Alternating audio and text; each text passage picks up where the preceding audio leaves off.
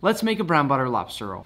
We'll start with a live lobster, and once we've separated out the meat, add some brown butter, mayonnaise, and lemon zest. For our buns, we'll slice the sides off a brioche roll and toast until golden brown. To finish, garnish however you'd like. All the measurements are in here.